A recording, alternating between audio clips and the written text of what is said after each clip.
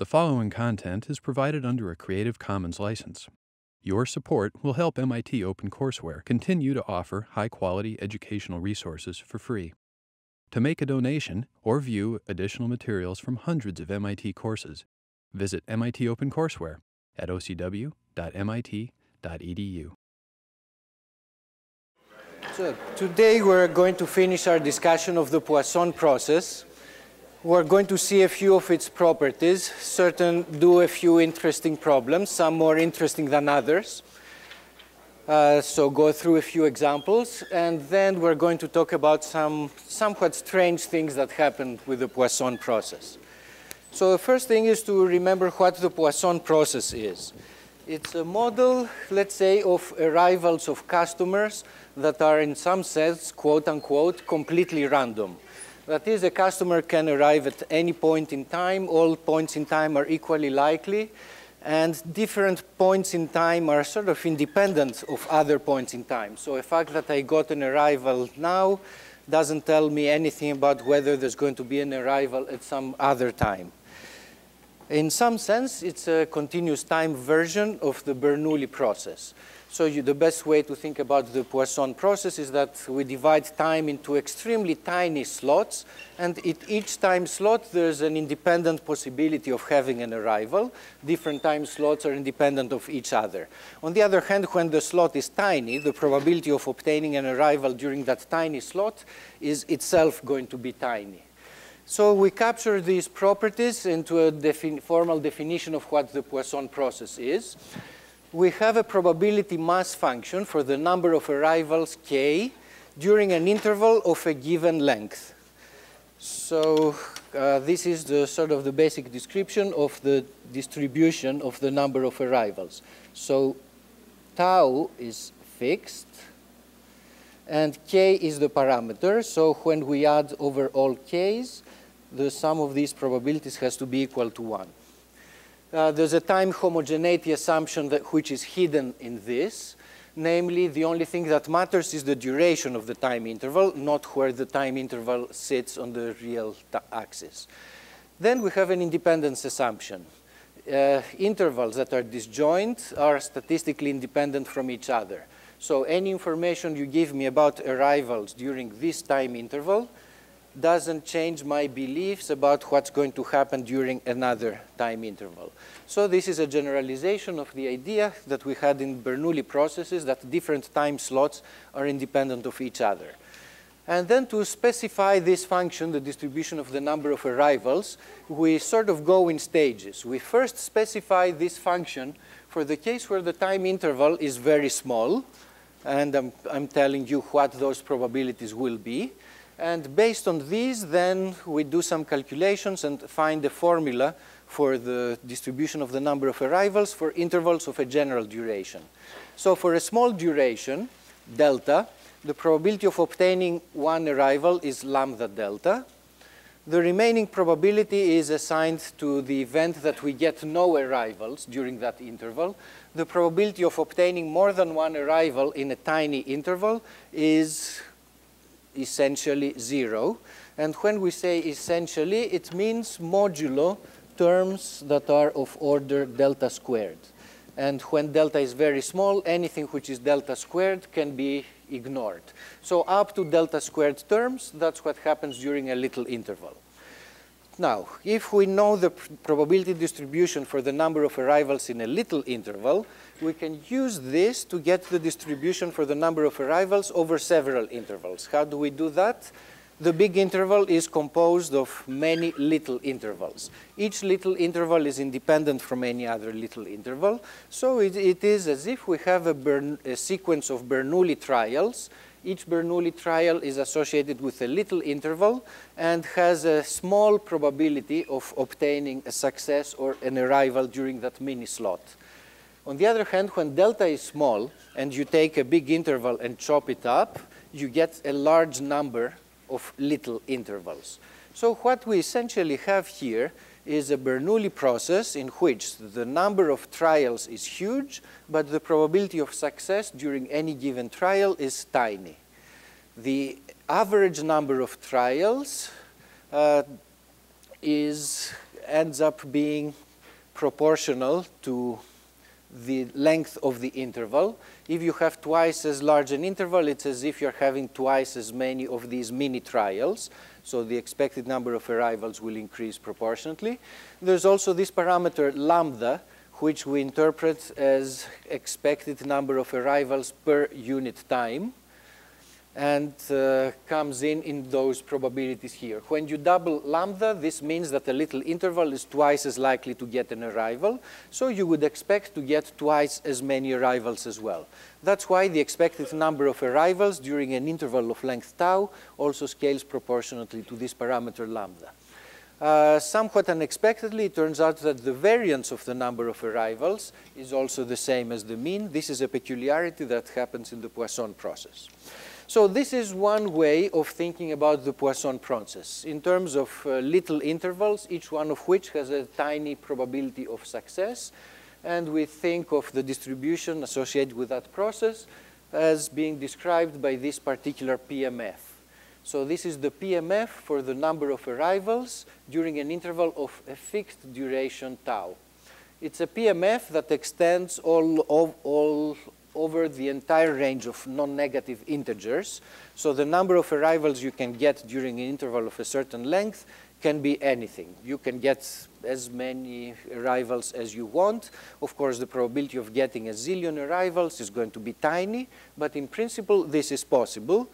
And that's because an interval, even if it's of fixed length, consists of uh, an infinite number of mini slots in some sense. Uh, you can divide, chop it up into as many mini slots as you want. So in principle, it's possible that every mini slot gets an arrival. In principle, it's possible to get an arbitrarily large number of arrivals. So this particular formula here uh, is not very intuitive when you look at it, but it's a legitimate PMF, and it's called the Poisson PMF. It's the PMF that describes the number of arrivals. So that's one way of thinking about the Poisson process where the basic object of interest would be this PMF and you try to work with it. There's another way of thinking about the, what happens in the Poisson process, and this has to do with letting things evolve in time. You start at time zero. There's going to be a time at which the first arrival occurs and call that time T1. Uh, this time turns out to have an exponential distribution with parameter lambda. Once you get an arrival, it's as if the process starts fresh. The best way to understand why this is the case is by thinking in terms of the analogy with the Bernoulli process. If you believe that statement for the Bernoulli process, since this is a limiting case, it should also be true. So starting from this time, we're going to wait a random amount of time until we get the second arrival. This random amount of time, let's call it T2. This time T2 is also going to have an exponential distribution with the same parameter lambda, and these two are going to be independent of each other. Okay.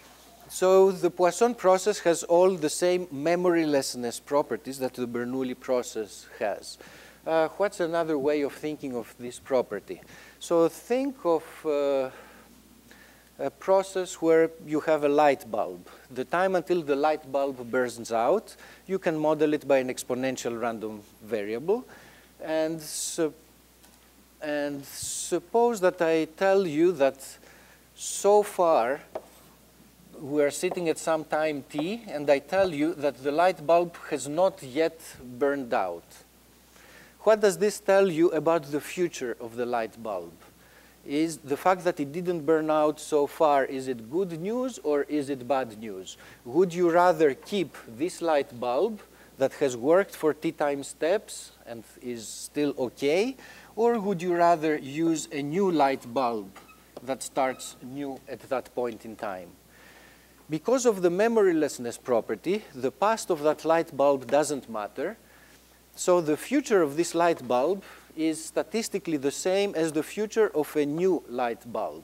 Both of them, for both of them, the time until they burn out is going to be described by an exponential distribution. So one way that people describe this situation is to say that used is exactly as good as new. So a used one is no worse than a new one, a used one is no better than a new one. So a used light bulb that hasn't yet burned out is exactly as good as a new light bulb. So that's another way of thinking about the memorylessness that we have in, uh, in the Poisson process. Uh, back to this picture. The time until the second arrival is the sum of two independent exponential random variables. So in principle, you can use the convolution formula to find the distribution of T1 plus T2, and that would be what we call Y2, the time until the second arrival. But there's also a direct way of obtaining the distribution of y2, and this is the calculation that we did last time on the blackboard. And actually, we did it more generally. We found the time until the kth arrival occurs. It has a closed form formula, which is called the Erlang distribution with k degrees of freedom. So let's see what's going on here. Uh, it's a distribution of what kind? It's a continuous distribution. It's a probability density function. This is because the time is a continuous random variable. Time is continuous. Arrivals can happen at any time. So we're talking about a PDF. This k is just a parameter of the distribution. We're talking about the kth arrival, so k is a fixed number. Lambda is another parameter of the distribution, which is the arrival rate. So it's a PDF over the y's, whereas lambda and k are parameters of the distribution. Okay, so this was what we knew from last time. Let's just to get some practice, let us do a problem that's not too, too difficult, but just to see how we use the various formulas that we have. So Poisson was a mathematician, but Poisson also means fish in French. So Poisson goes fishing, and let's assume that uh, fish are caught according to a Poisson process. That's not too bad an assumption. At any given point in time, you have a little probability that a fish will be caught, and whether you catch one now is sort of independent about whether at some later time a fish will be caught or not. So let's just make this assumption and suppose that the rules of the game are that you uh, fish are being caught at a certain rate of 0.6 per hour. Uh, you fish for two hours no matter what. And then there are two possibilities. If I have caught a fish, I stop and go home. So if some fish have been caught, so there's at least one arrival during this interval, I go home. Or if nothing has been caught, I continue fishing until I catch something and then I go home. So that's the description of what is going to happen. And now let's start asking questions of all sorts. What is the probability that I'm going to be fishing for more than two hours? I will be fishing for more than two hours if and only if no fish were caught during those two hours in which case I will have to continue. Therefore, this is just this quantity. The probability of catching two fish in, uh, uh, of, of catching zero fish in the next two hours. And according to the formula that we have, this is going to be e to the minus lambda times how much time we have. There's another way of thinking about this. The probability that I fish for more than two hours is the probability that the first catch happens after time 2, which would be the integral from 2 to infinity of the density of the first arrival time. And that density is an exponential, so you do the integral of an exponential, and of course you would get the same answer. Okay, that's easy. So what's the probability of fishing for more than two, but less than five hours? What does it take for this to happen? For this to happen, we need to catch zero fish from time 0 to 2 and catch the first fish sometime between 2 and 5.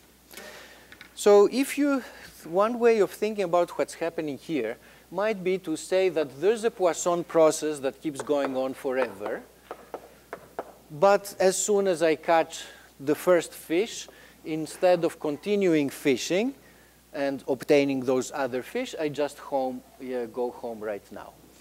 Now, the fact that I go home before time 5 means that if I were to stay until time 5, I would have caught at least one fish. I might have caught more than one. So the event of interest here is that the first catch happens between times 2 and 5. So one way of calculating this quantity would be it's the probability that the first catch happens between times 2 and 5.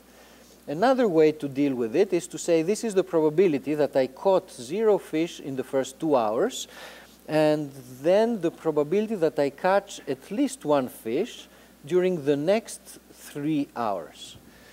So this, what is this?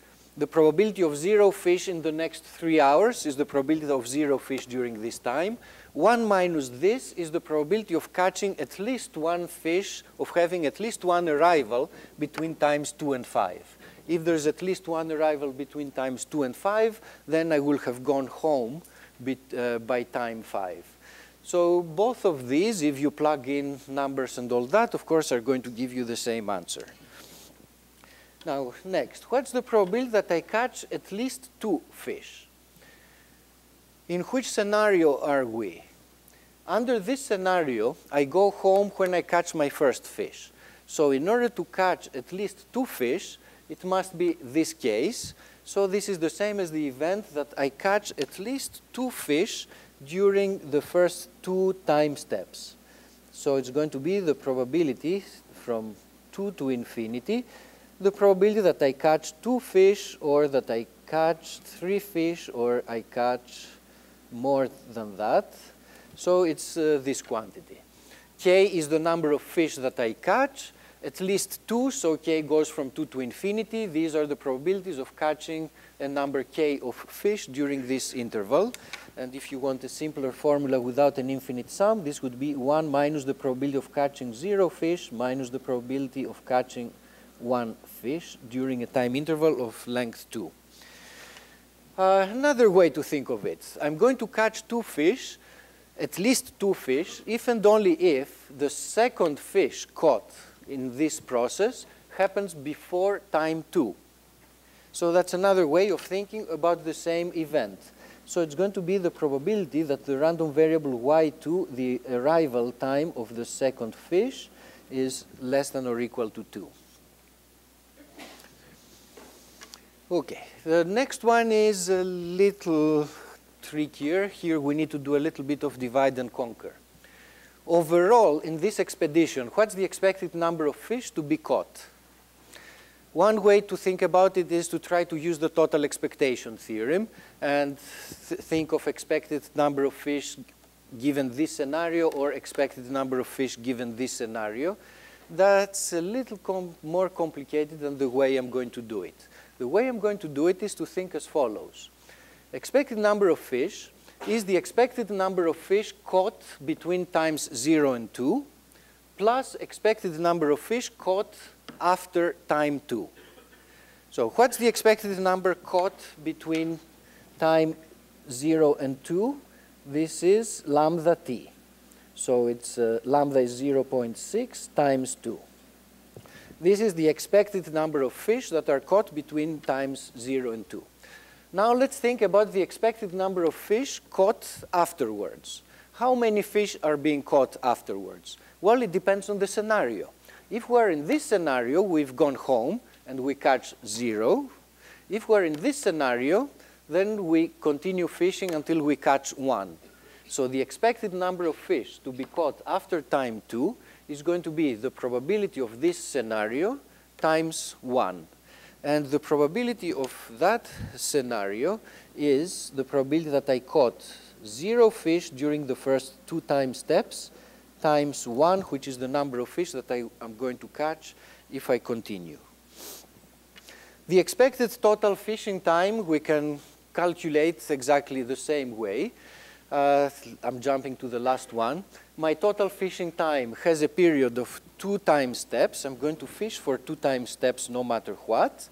And then, if I have caught zero fish, which happens with this probability, my expected time is going to be the expected time from here onwards, which is the expected value of this geometric random variable with parameter lambda. So the expected time is 1 over lambda. And in our case, this is 1 over 0.6.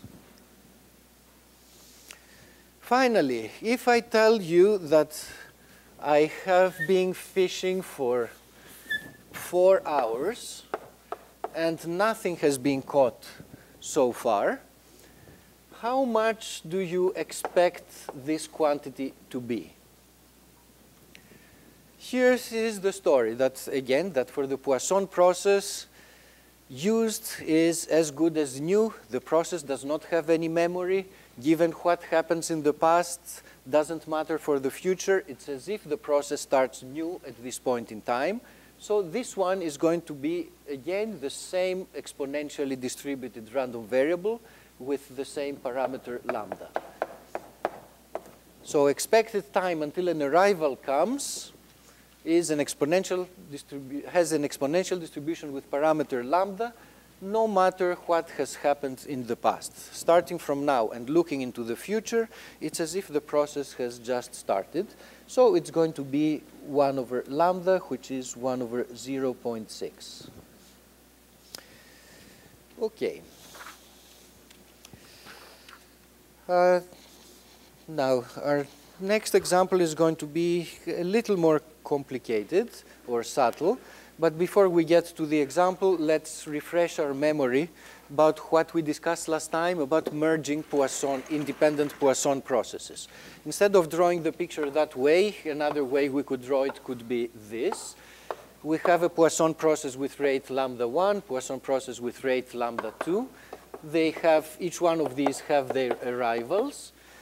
And then we form the merged process, and the merged process records an arrival whenever there's an arrival in either of the two processes.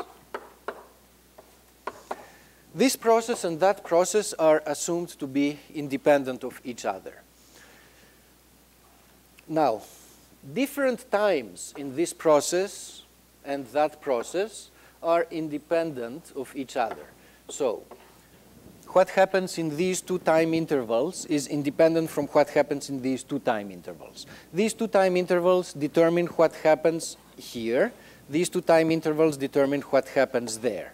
So because these are independent from these, this means that this is also independent from that. So the independence assumption is satisfied for the merged process. And the merged process turns out to be a Poisson process.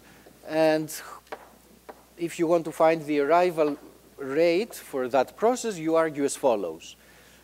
During a little interval of length delta, we have probability lambda 1 delta of having an arrival in this process. We have probability lambda 2 delta of an arrival in this process, plus second order terms in delta, which we're ignoring. And then you do the calculation and you find that in this process, you're going to have an arrival probability, which is lambda 1 plus lambda 2 delta. Again, ignoring second order in delta, uh, terms that are second order in delta. So the merged process is a Poisson process whose arrival rate is the sum of the arrival rates of the individual processes. And the calculation we did at the end of the last lecture, if I tell you that an arrival happened here, where did that arrival come from? Did it come from here or from there? If lambda 1 is equal to lambda 2, then by symmetry, you would say that it's equally likely to have come from here or to come from there. But if this lambda is much bigger than that lambda, the fact that I saw an arrival is more likely to have come from there. And the formula that captures this is the following. This is the probability that my arrival has come from this particular stream rather than that particular stream. So when an arrival comes, and you ask what is the origin of that arrival, it's as if I'm flipping a coin with these odds, and depending on the outcome of that coin, I'm going to tell you it came from there or it came from there. So the origin of an arrival is either this stream or that stream, and this is the probability that the origin of the arrival is that one. Now, if we look at two different arrivals and we ask about their origins, so let's think about the origin of this arrival and compare it with the origin of that arrival. The origin of this arrival is random. It could be, be either this or that, and this is the relevant probability. The origin of that arrival is random. It could be either here or there, and again with the same relevant probability. Question, the origin of this arrival, is it dependent or independent from the origin of that arrival? And here's how the argument goes. Separate times are independent. Whatever has happened in the process during this set of times is independent from whatever happened in the process during that set of times. Because different times have nothing to do with each other, the origin of this, of an arrival here, has nothing to do with the origin of an arrival there. So the origins of different arrivals are also independent random variables. So if I tell you that, uh, yeah, okay. So it's as if that each time that you have an arrival in the merged process, it's as if you're flipping a coin to determine where did that arrival came from, and these coins are independent of each other. Okay. Okay, now we're going to use this, what we know about merged processes, to solve a problem that would be harder to do if you were not using ideas from Poisson processes. So the formulation of the problem has nothing to do with the Poisson process the formulation is the following. We have three light bulbs. And each light bulb is independent and is going to die out at a time that's exponentially distributed. So three light bulbs, they start their lives, and then at some point they, they die or burn out. So let's think of this as x, this as y, and this as z. And we're interested in the, in the time until the, the last light bulb burns out. So we're interested in the maximum of the three random variables, x, y, and z. And in particular, we want to find the expected value of this maximum. Okay. So you can do derived distributions, use the expected value rule, anything you want. You can get this answer using the tools that you already have in your hands. But now let us see how we can connect this picture with a Poisson picture and come up with the answer in a very simple way. What is an exponential random variable? An exponential random variable is the first act in a long play that involves a whole Poisson process. So an exponential random variable is the first act of a Poisson movie. Same thing here. You can think of this random variable as being part of some Poisson process that has been running. Okay. So it's part of this bigger picture. We're still interested in the maximum of these three. The other arrivals are not going to affect our answers. It's just conceptually speaking, we can think of the exponential random variable as being embedded in a bigger Poisson picture. So we have three Poisson processes that are running in parallel. Let us split the expected time until the last burnout into pieces, which is time until the first burnout, time from the first until the second, and time from the second until the third and find the expected values of each one of these pieces. What can we say about the expected value of this? This is the first arrival out of all these three Poisson processes. It's the first event that happens when you look at all these processes simultaneously. So three Poisson processes running in parallel. We're interested in the time until one of them, any one of them, gets an arrival rephrase, we merge the three Poisson processes, and we ask for the time until we observe an arrival in the merged process. when one of the three gets an arrival for the first time, then the merged process gets its first arrival. So what's the expected value of this time until the first burnout? It's going to be the expected value of a Poisson random variable. So the first burnout is going to have an expected value, which is, uh, okay, it's a Poisson process. The merged process of the three has a collective arrival rate, which is 3 times lambda.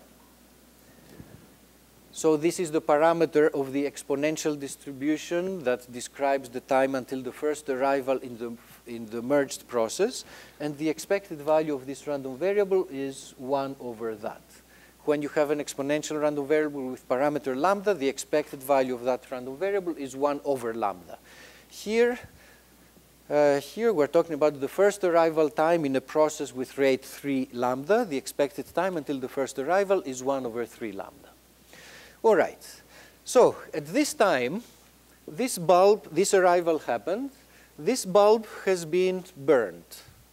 So we don't care about that bulb anymore. We start at this time and we look forward. This bulb has been burned.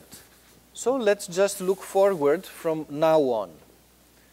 What have we got? We have two bulbs that are burning we have a Poisson process. That's the bigger picture of what could happen to that light bulb if we were to keep replacing it. Another Poisson process. These two processes are again independent. From this time until that time, how long does it take? It's the time until either this process records an arrival or that process records an arrival. That's the same as the time that the merged process of these two records an arrival. So we're talking about the expected time until the first arrival in a merged process. The merged process is Poisson. It's Poisson with rate 2 lambda. So that extra time is going to take, the expected value is going to be 1 over the rate of that Poisson process. So 1 over 2 lambda is the expected value of this random variable. So at this point, this bulb now is also burned. So we start looking from this time on that part of the picture disappears. Starting from this time, how, what's the expected value until the, that remaining light bulb burns out? Well, as we said before, in a Poisson process or with exponential random variables, we have memorylessness. A used bulb is as good as a new one, so it's as if we're starting from scratch here. So this is going to be an exponential random variable with parameter lambda and the expected value of it is going to be 1 over lambda. So the beauty of approaching this problem in this particular way is, of course, that we manage to do everything without any calculus at all, without writing any integral, without trying to calculate expectations in any form. Most of the non-trivial problems that you encounter in the Poisson world basically involve tricks of this kind you have a question and you try to rephrase it in uh, trying to think in terms of what might happen in a Poisson setting, use memorylessness, use merging, etc., etc. Now, we talked about merging. Uh, it turns out that uh, splitting of Poisson processes also works in a, in a nice way. The story here is exactly the same as for the Bernoulli process. So I'm having a Poisson process, and each time with some rate lambda, and each time that an arrival comes, I'm going to send it to that stream and record an arrival here with some probability p, and I'm going to send it to the other stream with some probability 1 minus p. So either this will happen or that will happen, depending on the outcome of a coin flip that I do. Each time that an arrival occurs, I flip a coin and I decide whether to record it here or there. This is called splitting a Poisson process into two pieces. What kind of process do we get here? If you look at a little interval of length delta, what's the probability that this little interval gets an arrival? It's the probability that this one gets an arrival, which is lambda delta, times the probability that after I get an arrival, my coin flip came out to be that way so that it sends me there. So this means that this little interval is going to have probability lambda, lambda delta p, or maybe more suggestively, I should write it as LP times lambda p times delta. So every little interval has a probability of an arrival proportional to delta. The proportionality factor is lambda p. So lambda p is the rate of that process. And then you go through the mental exercise that we you went through for the Bernoulli process to argue that different intervals here are independent and so on. And that completes checking that this process is going to be a Poisson process. So when you split a Poisson process by doing independent coin flips each time that something happens, the process that you get is again a Poisson process, but of course with a reduced rate. So instead of the word splitting, sometimes people also use the words uh, thinning out. That is, out of the arrivals that came, you keep a few, but throw away a few. Okay. So now, sort of the last topic of this lecture is a quite curious phenomenon that goes under the name of random incidence. So here's the story. Uh, buses have been running on Mass Ave from time immemorial, and the bus company that runs the buses claims that they come as a Poisson process with some rate, let's say, of four buses per hour, so that the expected time between bus arrivals is going to be 15 minutes. Okay. All right. So people have been complaining that they've been showing up there. They think the buses are taking too long. So you're asked to investigate. Does, is the company does it operate according to its promises or not? So you send an undercover agent to go and check the inter-arrival times of the buses. Are they 15 minutes or are they longer? So uh, you put your dark glasses and you show up at the bus stop at some random time. And you go and ask the guy in the falafel truck how long has it been since the last arrival? So of course that guy works for the FBI, right? So they tell you, they tell you, well, it's been, let's say, 12 minutes since the last bus arrival. And then you say, oh, 12 minutes. Average time is 15, so a bus should be coming any time now. Is that correct? No, you wouldn't think that way. It's a Poisson process. It doesn't matter how long it has been since the last bus arrival. So you don't go through that fallacy. Instead of predicting how long it's going to be, you just sit down there and wait and measure the time, and you find that this is, let's say, 11 minutes. And you go to your boss and report, well, it took, I went there, and the time from the previous bus to the next one was 23 minutes. It's more than the 15 that they said. So go and do that again. You go day after day, you keep these statistics of the length of this interval, and you tell your boss it's a lot more than 15. It tends to be more like 30 or so. So the bus company is cheating us. Does the bus company really run Poisson buses at the rate that they have, been, they have promised? Well, let's analyze the situation here and figure out what the length of this interval should be on the average. The naive argument is that this interval is an inter-arrival time, and inter-arrival times on the average are 15 minutes. If the company runs indeed Poisson processes with these inter-arrival times. But actually the situation is a little more subtle because this is not a tip is not a typical inter-arrival interval. This inter-arrival interval consists of two pieces. Let's call them T, T1 and T1 prime. What can you tell me about those two random variables? What kind of random variable is T1? Starting from this time, with a Poisson process, the past doesn't matter. It's the time until an arrival happens. So T1 is going to be an exponential random variable with parameter lambda. So in particular, the expected value of T1 is going to be 15 by itself.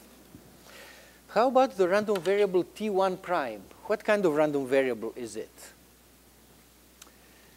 This is like the first arrival in a Poisson process that runs backwards in time. Uh, what kind of process is a Poisson process running backwards in time? Let's think of coin flips. Suppose you have a movie of coin flips. And for some accident, that fascinating movie, you happen to watch it backwards. Will it look any different statistically? No, it's going to be just a sequence of random coin flips. So a Bernoulli process that runs in reverse time is statistically identical to a Bernoulli process in forward time. The Poisson process is a limit of the Bernoulli, so same story with the Bernoulli process. If you run it backwards in time, it looks the same. So looking backwards in time, this is a Poisson process, and T1 prime is the time until the first arrival in this backward process.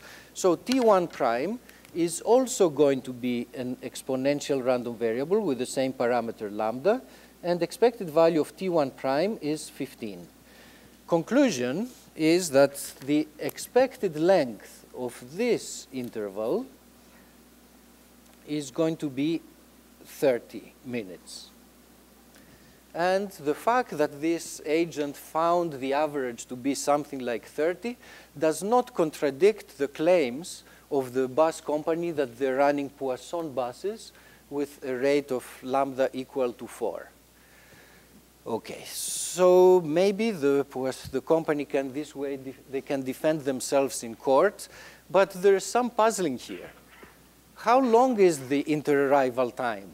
Is it 15? or is it 30 on the average? The issue is, what do we mean by a typical inter-arrival time? When we say typical, we mean some kind of average.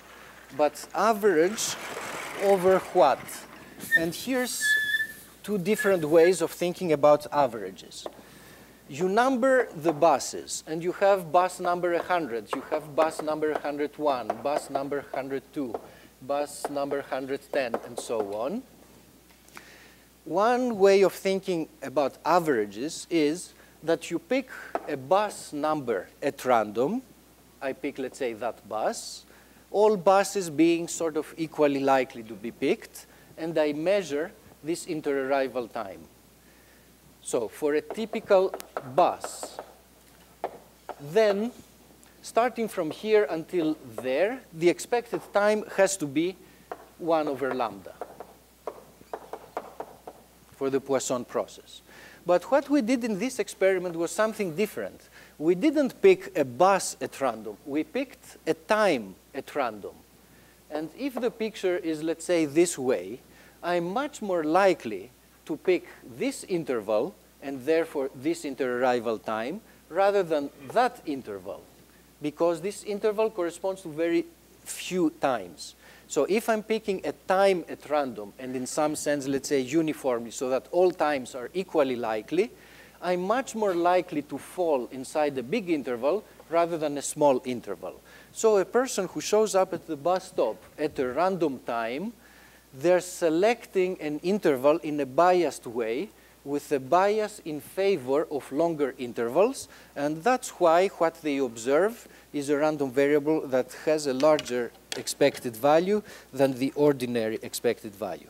So the subtlety here is to realize that we're talking between two different kinds of experiments, picking a bus number at random versus picking an interval at random with a bias in favor of uh, longer intervals many of lots of paradoxes that one can cook up using Poisson processes and uh, random process in general often have to do with a story of this kind. The phenomenon that we had in this particular example also shows up in general whenever you have other kinds of arrival processes. So the Poisson process is the simplest arrival process there is, where the inter-arrival times are exponential random variables. There's a larger class of models, they are called renewal processes, in which, again, we have a sequence of successive arrivals. Inter-arrival times are identically distributed and independent, but they may come from a general distribution. So to make the same point of the previous example, but in a much simpler setting, suppose that bus inter-arrival times are either 5 or 10 minutes apart. So you get some intervals that are of length 5, you get some of, that are of length 10, and suppose that these are equally likely, so we have exactly as many five, not exactly, uh, in the long run, we have as many five-minute intervals as we have 10-minute intervals. So the average inter-arrival time is seven and a half. But if a person shows up at a random time, what are they going to see? The, we have as many fives as tens, but every ten covers twice as much space. So if I show up at a random time, I have probability two-thirds of falling inside a 10 interval of duration 10, and I have one-third probability of falling inside an interval of duration 5.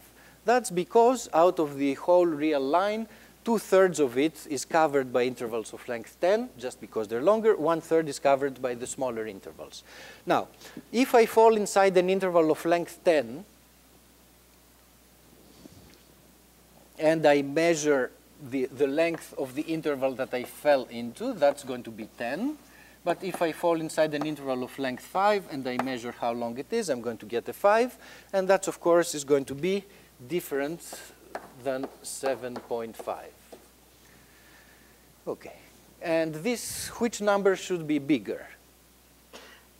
It's the second number that's bigger because this one is biased in favor of the longer intervals. So that's again another illustration of the different results that you get when you have this random incidence phenomenon. So the bottom line again is that if you talk about a typical inter-arrival time, one must be very precise in specifying what we mean typical. So typical means sort of random, but to say, use the word random, you must specify very precisely what is the random experiment that you are using. And if you're not careful, you can get into sort of apparent puzzles such as the following. Suppose somebody tells you the average family size is four, but the average person lives in a family of size 6. Is that compatible? Family size is 4 on the average, but typical people live on the average in families of size 6. Well, yes, there's no contradiction here. We're talking about two different experiments. Well, in one experiment, I pick a family at random, and I tell you the average family is 4. In another experiment, I pick a person at random, and I tell you that this person on the average will be in a family of size 6. And what's the catch here? That if I pick a person at random, large families are more likely to be picked.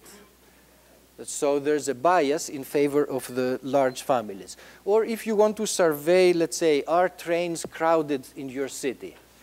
There's, or are buses crowded? One choice is to pick a bus at random and inspect how crowded it is. Another choice is to pick a typical person and ask them, did you ride a bus today? Was it crowded? Well, suppose that in this city there's one bus that's extremely crowded and all the other buses are completely empty. If you ask a person, was your bus crowded? They will tell you, yes, my bus was crowded there's no witness from the empty buses to testify in their favor. So by sampling people instead of sampling buses, you're going to get a different result. And in the process industry, if your job is to inspect and check cookies, you will be faced the big dilemma. Do you, you want to find out how many chocolate chips there are on a typical cookie? Are you going to interview cookies or are you going to interview chocolate chips and ask them how many other chips were there on your cookie? and you're going to get different answers in these cases. So moral is one has to be very precise on how you formulate the sampling procedure that you have and you'll get different answers.